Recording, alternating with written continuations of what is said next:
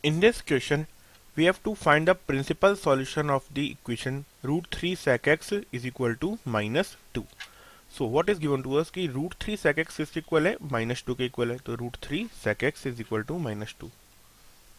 अब अगर root 3 sec x equal है minus 2 के तो sec x की वैल्यू क्या हो जाएगी sec x is equal to minus 2 by root 3.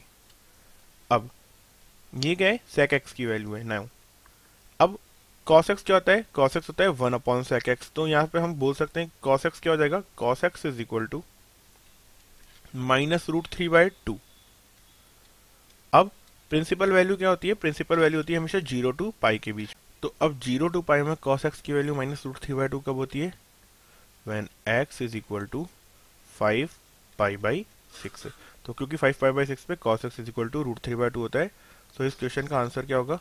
इस क्वेश्चन का आंसर होगा x is equal to five pi by six so correct answer is option C five pi by six